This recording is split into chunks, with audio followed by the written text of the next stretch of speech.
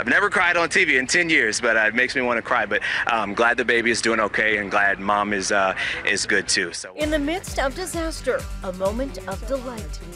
TV news reporter Chauncey Glover meets the baby he helped deliver while covering Hurricane Harvey. In that moment where you're like, who is this guy? What were you thinking? I wanted to tell you to shut up, to be honest. I know, I'm sure. Shae was in labor, trapped by floodwaters when Chauncey was nearby reporting on the storm. Wow. I, yeah, we're we're getting we're this information right there's now. There's a woman in.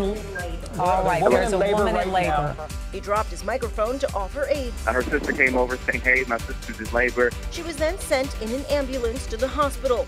Once the baby was born, Chauncey reunited with mom and her newborn boy she named Joseph. I'm very happy. I still want to rest though. right, yeah. But I'm happy and I'm glad he's healthy and everything, and my family's okay. But it's unknown what mess her family has to return home to.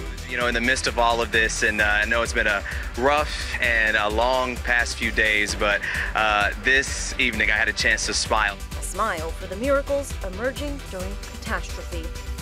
I'm Leigh Scheps for InsideEdition.com.